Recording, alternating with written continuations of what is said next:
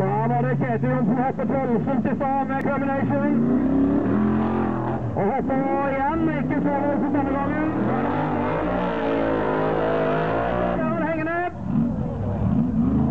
Så ble det enda et rygg, og nå er det to svære høler i banen i tillegg. Og nå begynner det å balle på seg her for Kjetil Johnsen. Så er han over. Det så ut skulle sette seg igjen.